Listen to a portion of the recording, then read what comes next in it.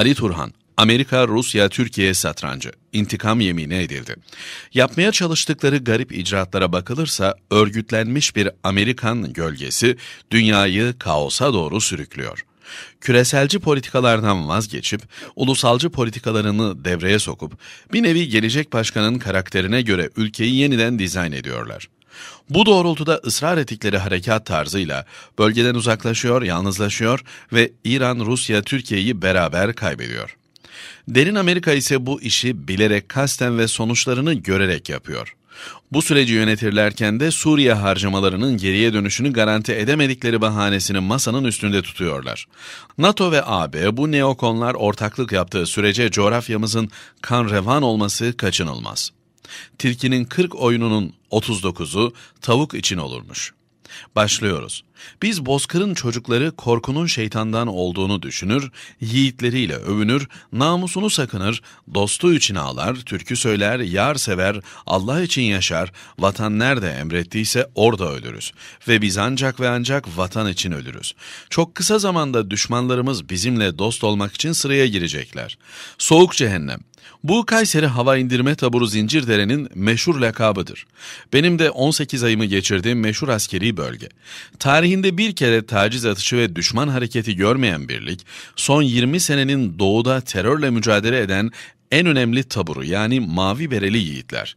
Silahları varken karşılarına çıkmayan düşman onları silahsız yakalayınca fitili ateşledi.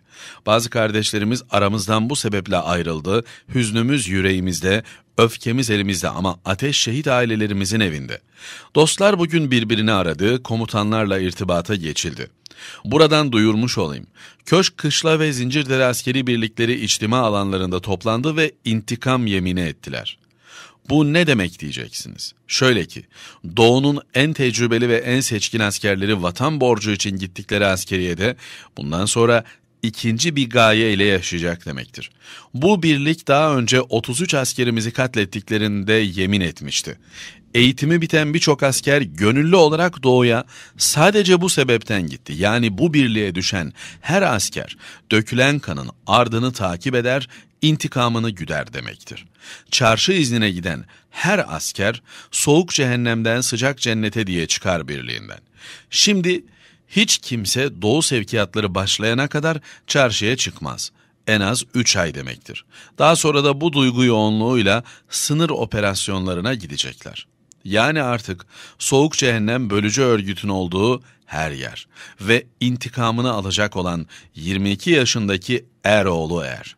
Devam edelim. Sistematik terörizmi hayatımıza sokanların son hamlesi de 22 yaşında. Dün gece dünya gündemine oturacak dalgalandırıcı bir eylem gerçekleştiren kullanışlı aptal, Rusya Federasyonu'nun büyükelçisini Çağdaş Sanatlar sergisinde hiç de çağdaş olmayan bir şekilde katletti. Sıkanın kim olduğu bulunmuşken sıktıranın elinde bir çiçekle geleceğinden hiç kuşkumuz yok. Reis olay daha sıcakken Putin'i aradı, beraber ekip kurma kararı verdiler. Ortak soruşturma komisyonu kuruldu, tüm diplomatlar güvence altına alındı. Kim ne oyun kurmaya çalışıyorsa artık bu taraftaki cepheyi de görmüş olacaklar. İki ülkede kışkırtma olduğunu düşünüyor. Yani siz bu ilişkileri bozamazsınız demek oluyor. Amaçları Türkiye'yi köşeye sıkıştırmak olan derin karanlık tüm gücüyle basıyor. Eksik kalmayın, yedi düvelle gelin nafile başaramayacaksınız. Türkiye'nin kenetlenmesinden, bir araya toplanmasından, milli birlik olmasından rahatsız olan NATO'cular, FETÖ'cüler, Amerikancılar, mandacılar, politikacılar öncelikle bilmelisiniz ki hiçbir Türk evindeki misafiri hem de sırtından vurmaz. Diplomatik koruma altında olan bir şahsı elini kolunu sallayarak girip vuracak cinnet halinde olmaz.'' Terörü ve teröristi kullanan sizler. Elbet bu ateş sizi de yakacak. Çok kısa zaman sonra nokta operasyonlar olacak. Siz de taşeronlarınızı, savaş çıkaran silah tüccarlarınızı, Müslümanları katleden küresel para baronlarınızı tuhaf sorunlar yaşadıkları için kapınızda ağlar halde bulacaksınız. Mahkumun ikilemine düştüğünüzde 100 yıldır yürüttüğünüz projenin sonuna geldiğinizi göreceksiniz.'' Nokta demişken hemen bize meydan okuyan kullanışlı andavallara sesleniyorum artık. Bir kısmınız gece uyuyup sabah uyanamayacak. Her hafta uğradıkları restoranlara uğrayamayacak. Hafta sonu gittikleri Paris'te olamayacak. Golf oynadıkları kulüplere gelemeyecek. Yani bir anda sizden haber alınamaz olacak. Çok şanslıysanız bakacaksınız ki Türkiye'ye doğru gelen bir uçaktasınız ama dua edin ki hayattasınız. Son olarak bizi Ermeni örgüt Asala gibi görüp ülkemizde diplomat katleden zat-ı şahaneler, biz Asala'yı yurt dışında bitiren, istediği gibi harekat yapabilen, hileye ihtiyaç duymadan size gelebilen asil bir milletiz.